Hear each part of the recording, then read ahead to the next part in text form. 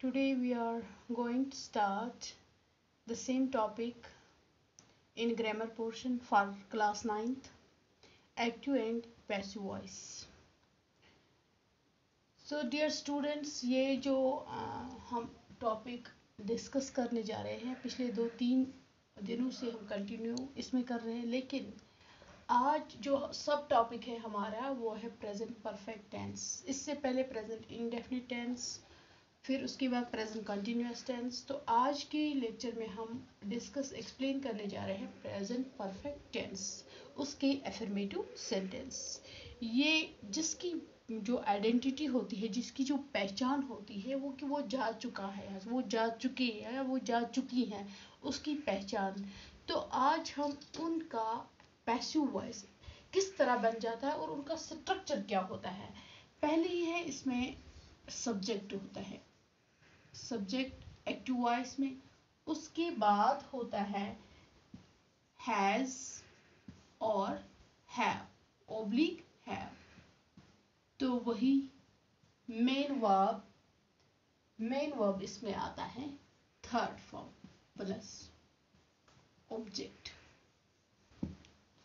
plus object तो अब हमें पैसिव वॉइस का जो पैसिव वॉइस है इसका इसका स्ट्रक्चर यही सेम रूल ऑब्जेक्ट को पहले हम लाते हैं, इसको पैसिव में कन्वर्ट करने के लिए. ऑब्जेक्ट को हम पहले लाते हैं, उसके बाद हैज़ हैव हैज़ आपको पता है सिंगुलर और हैव प्लोरल के साथ. लेकिन यहाँ पे हम बीन इससे पहले हमने कंटिन्यूस टेंस में बींग का इस्तेमाल किया था, लेकिन यहाँ पे परफेक्ट में हम बींग का इस्तेमाल करते हैं। उसके बाद वर्ब का थर्ड फॉर्म ये परफेक्ट इसीलिए third form of the verb is use in present perfect tense उसके बाद वही क्या सब्जेक्ट जो यहाँ पे सब्जेक्ट था, वो वहाँ पे ऑब्जेक्ट बन गया। तो अब हम विद एग्ज़ाम्पल के ज़रिए आपको समझ में आएगा क्या है। शॉर्ट में मैंने लिखा एक्टिव वॉइस क्या है? Saba has completed the work Saba has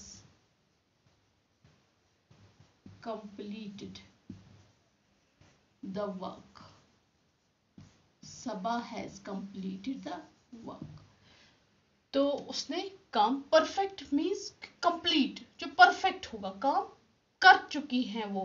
Saba Saba has completed the work तो एक अगर हम स्ट्रक्चर की तरफ़ देखते हैं, वही वर्क को हमें, जो यहाँ पे सबा है, क्या है, क्या यहाँ पे? सब्जेक्ट इसी इसी तरह, क्योंकि सिंगुलर है तो हैज़ हमने यूज़ किया है कंप्लीटेड वर्क का थर्ड फॉर्म तो इसी तरह ये क्या है?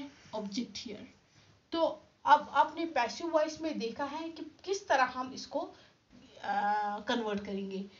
द वर्क पैसिव वॉइस इसका। द वर्क, ये बन गया यहाँ पे subject. The work has been completed. The work has been completed by Saba. The work has been completed by Saba. By Saba यही द वर्क यहाँ पे सब्जेक्ट बन गया जो वहाँ पे एक्टिव वॉइस में ऑब्जेक्ट था। ये यहाँ पे सब्जेक्ट बनता है। तो हैज़ है सिंगुलर के साथ हमने यूज़ किया है। अब है इसका वी थ्री ये तो चेंज नहीं ये एक्टिव वॉइस में भी third form of the verb and passive voice में भी थर्ड फॉर्म इससे पहले हम first form of the verb तो यहाँ पे होता था एक्टिव वॉइस में, उसको हम कन्वर्ट करते हैं थर्ड फॉर्म में। लेकिन यहाँ पे काम परफेक्ट है, यहाँ पे third form of the verb is use in active voice and also in passive voice तो यह जो यहाँ पे सब्जेक्ट था, वो यहाँ पे ऑब्जेक्ट बन गया। तो इस तरह एक एक एग्ज़ाम्पल देखकर आप एक सिचुएशन मतलब स्ट्रक्चर के हिसाब से वो बहुत सारी एग्ज़ाम्पल प्रैक्टिस करने के लिए आप बना सकते हो और उस तरह आपको समझ में भी आएगा। यहाँ पे तो हम सिर्फ़ एक एक एग्ज़ाम्पल देते हैं ताकि आपको रूल समझ में आएगा। अब है नेगेटिव सेंटेंस का किस तरह पैसिव बन जाता है? नेगेटिव सेंटेंस तो नेगेटिव सेंटेंसेस पहले हम एक्टिव वॉइस ही लेंगे हाँ। नॉट का यूज़ हमें करना है। सब्जेक्ट वही हैज़ हैव वही फॉर्मूला तो उसके बाद नॉट क्योंकि नेगेटिव सेंटेंस है, उसके बाद वर्ब का थर्ड फॉर्म प्लस ऑब्जेक्ट अब जब हम पैसिव वॉइस में कन्वर्ट करेंगे, क्या लाना है पहले हमें? ऑब्जेक्ट क्या लाना है पहले? ऑब्जेक्ट उसके बाद has have has have plus not been verb का third form main verb three plus by and object तो आप example for example active voice she has not has not sung क्योंकि वर्ब का थर्ड फॉर्म है, यहाँ पे use करना है she has not sung a song तो पैसिव वॉइस क्या है? इसका बन जाएगा। ये इसका सब्जेक्ट है, ये वर्ब का थर्ड फॉर्म है, ये ऑब्जेक्ट है।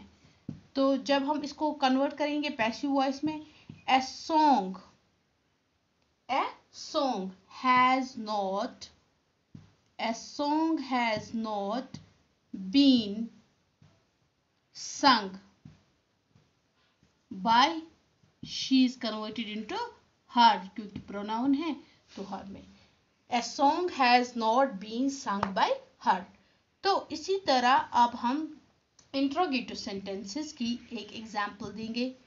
इंट्रोगेटिव सेंटेंसेस इंट्रोगेटिव सेंटेंसेस यहाँ पर भी यहाँ पर हमें जो इसका स्ट्रक्चर होगा एक्टिव वॉइस का और पैसिव वॉइस का। यहाँ पर हैज़ और हैव जो है हेल्पिंग वर्ब्स ये पहले आएँगे, क्योंकि क्वेश्चन मार्क है यहाँ पे। उसके बाद सब्जेक्ट आएगा, उसके बाद वर्ब का थर्ड फॉर्म आएगा, और उसके बाद ऑब्जेक्ट नोट ऑफ़ यही इसकी पहचान है, note of interrogation interrogative sentences तो उसके बाद पैसिव वॉइस में भी इसका हैज़ और हैव पहले आएगा। ये तो चेंज नहीं होगा।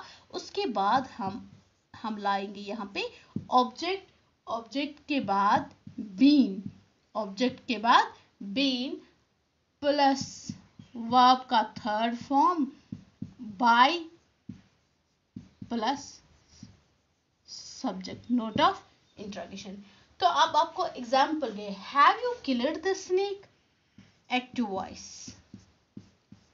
have you have you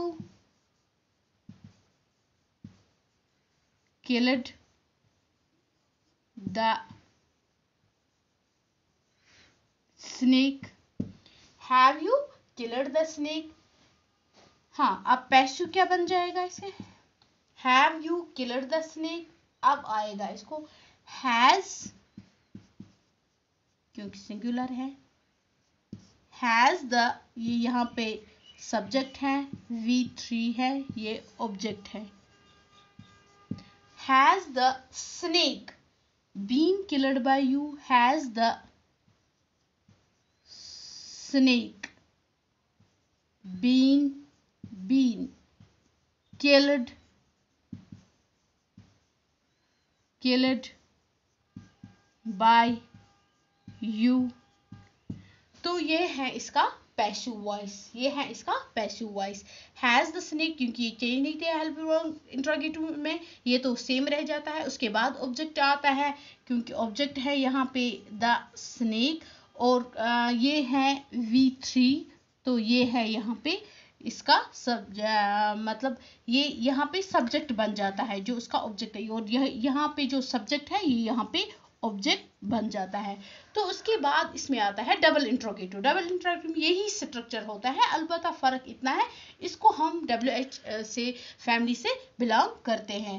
so so, आज के जो लेक्चर में हमने कंप्लीट किया है प्रेजेंट परफेक्ट टेंस बाकी आपका जो लास्ट में इस एक्टिव पैसिव वॉइस कंप्लीट करने के बाद उसका मैं असाइनमेंट वगैरह असेसमेंट डालूँगी प्रैक्टिस के लिए तो वो आप करके देख सकते हैं बाद में। सो so, थैंक्स